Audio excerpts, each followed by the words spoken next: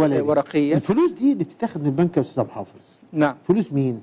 دي فلوس المودعين يعني فلوس المواطن اللي هو حضرتك وحضرته بالظبط. أنا وحضرتك. بالظبط. طبعا إحنا مالناش حاجة الحمد لله لا- لا- لا. دي بس دي فلوس المواطنين. دي فلوس. حضرتك لما البنك بياخد 4 مليار ويسلمهم ل 12000 واحد بيشتغلوا في البيزنس أو في أي نيله المفترض. السؤال بقى الف- هتتحسب يعني أنا حطيت فلوسي في البنك في 4 و8 من 5 مليار جنيه معدومين هيتعوضوا إزاي؟ المواطن هياخد إيه؟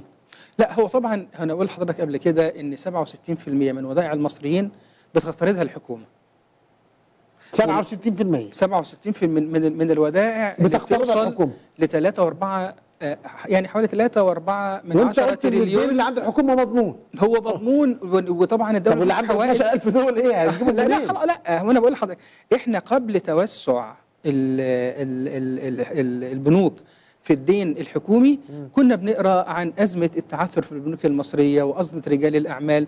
لو تفتكر نواب القروض أيوه. ال- والناس اللي كانت بتهرب بره والأزمة اللي كانت فيها البنوك المصرية والاقتراض من الخارج. لكن من ساعة التوسع في الدين العام المحلي واعتماد الحكومة والحكومة بتدفع من خلال الفلوس المطبوعة فأصبح آه، بنشوف رجال الأعمال في بزاتهم الأنيقة وبنسمع عن فلوس عن والدولة تطبع مرتبات- فلوس. بن- بنسمع عن مرتبات رؤساء مجلس الإدارة الكبيرة ومكافئات اعضاء مجلس الإدارة لكن إحنا بنؤكد على رسالتنا للسادة علماء الشريعة المعلومات قدامكم آه، بندعوكم إلى مراجعة الفتوى مش لانحياز لرأي معين ولكن آه، انصافا للشريعة وانصافا آه، للمواطن وتحقيقا للشريعة آه، الإسلامية. ننتقل